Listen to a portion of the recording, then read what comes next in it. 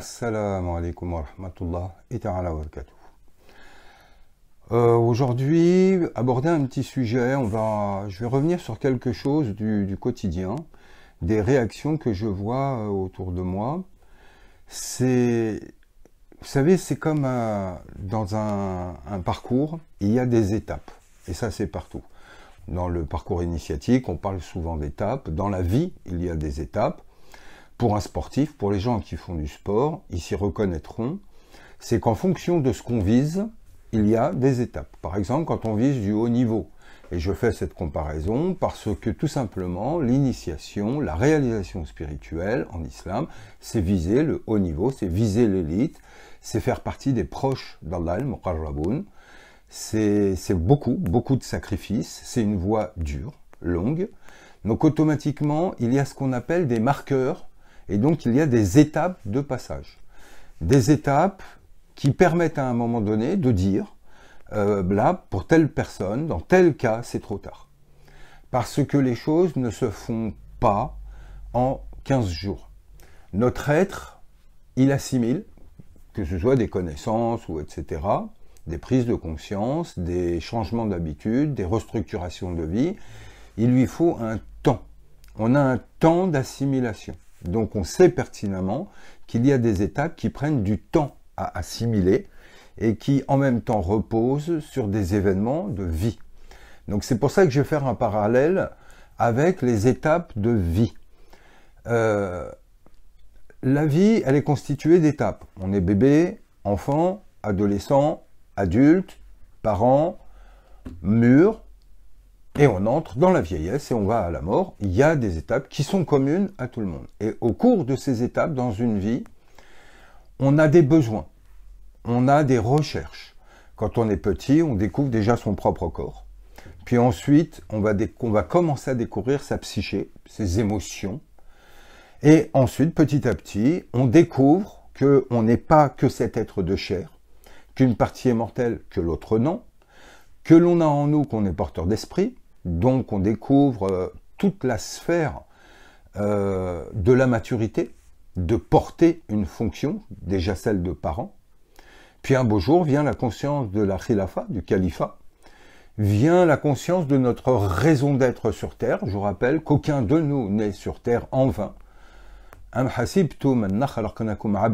Le Coran nous prévient. Pensez-vous qu'on vous a créé en vain pour rien? Non, non. Vous avez bien une fonction. Fil khalifa. Je vais instituer sur terre un lieutenant, un vicaire, l'homme. Donc c'est, on est tous concernés.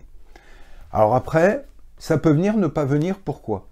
Bah Parce que tout simplement, il y a des retards de prise de conscience et des retards qui peuvent être pris par rapport à certains vécus.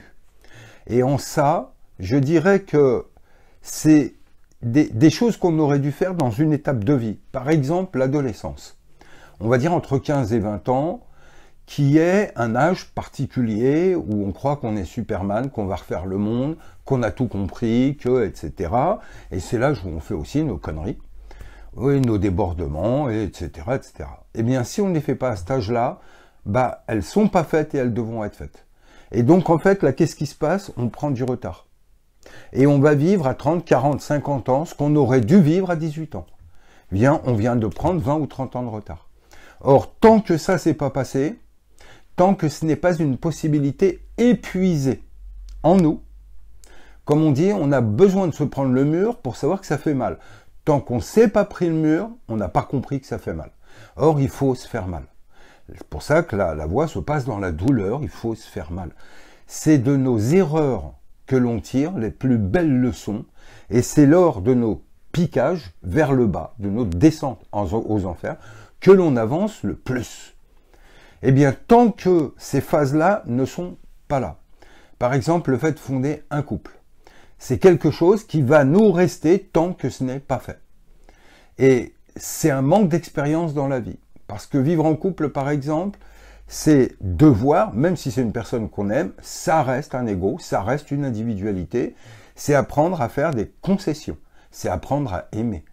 Avoir des enfants, c'est apprendre à assumer, c'est apprendre à avoir une responsabilité et c'est apprendre à l'ego à faire ce qu'il n'aime pas.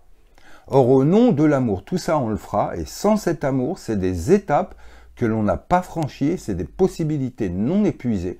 C'est pour ça que le Coran disait, Fan ayyam aminkum, mariez-vous jeunes, mariez vos célibataires. On fait, ça, faut le faire jeune, parce que la voie est encore longue. Or, en ne le faisant pas, on prend tout simplement du retard. Et qu'est-ce qui se passe? Eh bien, à 40-50 ans, on recherche à vivre comme un ado. Et on recherche à vivre les petites expériences qu'on n'a pas vécues, qu'on n'a pas connues. Seulement, on s'est endurci dans des habitudes et les trois quarts du temps, on n'arrive plus à supporter la compagnie de quelqu'un H24. Et là, qui est la structuration du plan social, eh bien, si elle ne se fait pas, la réalisation étant une structuration des trois plans, une axialisation des trois plans, on se souvient qu'Allah, quand il crée les cieux et la terre, il commence par ordonner la terre et ensuite les cieux. Nous, c'est pareil. Il faut structurer et ordonner notre structure terrestre, c'est-à-dire physique, psychique, sociale, émotionnelle, sentimentale, financière. Tant que ce, cette horizontale, tant que ce support n'est pas stabilisé, assumé, épuisé, eh bien, on n'aura jamais la tête dans le ciel. Tant que les pieds ne sont pas structurés, fortement ancrés dans la terre, on n'a pas la tête au ciel. C'est-à-dire que, au lieu de penser spiritualité, on pense aux choses qui créent en nous des manques, qui ne sont pas épuisés, qui restent des besoins non assouvis, et on n'a pas la tête au ciel.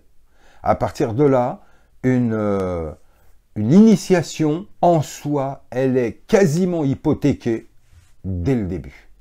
Et on peut voir que beaucoup de gens ont du mal à, passer ces caps par manque de force.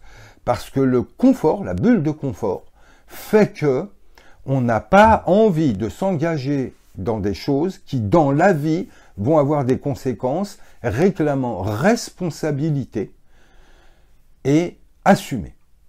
Or, tant qu'elles ne sont pas faites, eh ben, vous vous retrouvez à quoi? Vous vous retrouvez à 50 ans en train d'aller courir après l'assouvissement de petits plaisirs euh, de la vie euh, que vous n'avez pas souvis au bon âge.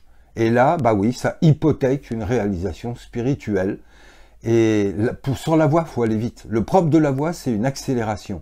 Il faut aller vite, il faut accélérer, faut, faut, faut manger, faut, faut consommer, faut y aller. Il faut faire des expériences. Il faut rester le plus possible sous la tutelle divine pour ne pas en payer des séquelles qui des fois peuvent être à vie. Et là encore, hypothéquer toute chance de réalisation spirituelle. Donc ça, c'est un des, des, des cas en initiation qui est rédhibitoire. Il faut vivre les choses en leur temps. Vivez jeune, mariez-vous jeune, soyez autonome jeune, ayez des revenus financiers pour être autonome et indépendant jeune. Verticalisez-vous jeune, car c'est qu'une fois vertical que la voie commence. De la même manière que la prière, c'est que lorsque l'on est vertical et qu'on dit Allahu Akbar, que le lien à Allah, salat, sila, c'est à ce moment-là que les choses commencent. Or, la verticalité, là, est un début, pas une fin. La prosternation, qui est la khilafa, est une fin, mais pas la verticalité qui n'est qu'un début. Or, se verticaliser, oui, c'est de vivre les bonnes étapes au bon moment dans la vie. À défaut, on prend du retard et il y a un moment donné où c'est trop tard. Ne vous endormez pas sur vos lauriers. La voie est longue, la vie est courte. Allez-y. Personne d'entre nous n'a de garantie de durée de vie. C'est pas parce qu'on est jeune qu'on a nécessairement le temps. Allez-y. Surtout, allez-y. Qu'était la connaissance Allez à Allah. C'est pour ça qu'on est sur cette terre. Salam alaikum.